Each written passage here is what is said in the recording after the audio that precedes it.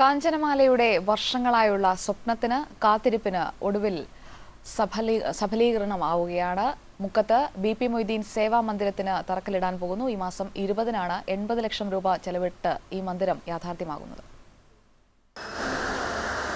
ആയിരത്തി തൊള്ളായിരത്തി അറുപത്തിയെട്ട് ഫെബ്രുവരി പതിനാലിന് ബുധനാഴ്ച കാലത്ത് എട്ട് മണിക്ക് ഈ നീണ്ട കത്ത് ആരംഭിക്കുന്നു.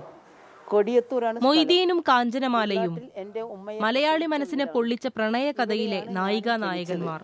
ഒരു സുദീർഘമായ പ്രണയത്തീയിൽ അവർ മറ്റാർക്കും മനസ്സിലാകാത്ത ഒരു ഭാഷയ്ക്ക് പോലും രൂപം നൽകി. മൊയ്തീൻ മരിച്ച മൂന്നര പതിറ്റാണ്ടിനിപ്പുറവും കാഞ്ചനമാല ആ ഭാഷ മറന്നിട്ടില്ല. ഈ വീട് ഒരു മഹാപ്രതാപത്തിന്റെ പ്രണയത്തിന്റെ ഈ അപൂർവ ഭാഷ മാത്രമല്ല മൊയ്തീന്റെ മരണശേഷം ഏറ്റെടുത്ത ഒരു കാര്യവും കാഞ്ചനമാല കൈവിട്ടിട്ടില്ല. ഇതിലേറ്റവും വലിയൊരു സ്വപ്നമാണ് ഈ മാസം ഇരുപതിന് സാക്ഷാത്കരിക്കപ്പെടുന്നത്. ഇനി ഈ കത്തുകൾ മാളിക കോംപ്ലക്സിന്റെ മുറിയിലിരുന്ന് വായിക്കാനാവില്ലല്ലോ എന്നതു മാത്രമാണ് സങ്കടമെന്ന് തമാശച്ചിരിയോടെ കാഞ്ചനമാല പറയുന്നു. ആയിരത്തി തൊള്ളായിരത്തി എൺപത്തിയേഴിൽ പ്രവർത്തനം ആരംഭിച്ച അന്നു മുതൽ സേവാമന്ദിരത്തിന് സ്വന്തമായ ഒരു കെട്ടിടം വേണമെന്നുള്ളത് കാഞ്ചനമാലയുടെ മോഹമാണ്. മൊയ്തീന്റെ സുഹൃത്തുക്കളും നാട്ടുകാരുമടക്കം നിരവധി പേർ പിന്തുണയുമായി എത്തിയപ്പോൾ സാക്ഷാത്കരിക്കപ്പെട്ടത് സാധ്യമാകുമോ എന്ന് പലവട്ടം സംശയിച്ച സ്വപ്നം. ഒന്ന് ആദ്യം സഹായത്തിന് സഹായിയായി എത്തിയത് ദിലീപാണ്.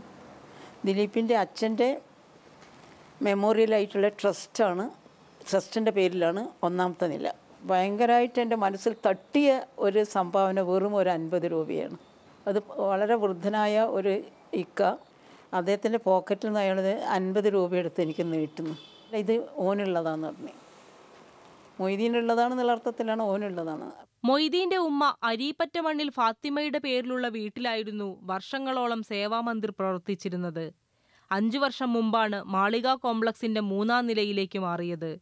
പുതിയ കെട്ടിടത്തിൽ വായനശാല വൃദ്ധജനങ്ങൾക്കായുള്ള സായാഹ്ന സ്വർഗം വനിതകൾക്കുള്ള തൊഴിൽ പരിശീലന കേന്ദ്രം പ്രശ്നപരിഹാര സെൽ എന്നിവയാണ് പ്രവർത്തിക്കുക. ഏഷ്യാനെറ്റ് ന്യൂസ് കോഴിക്കോട്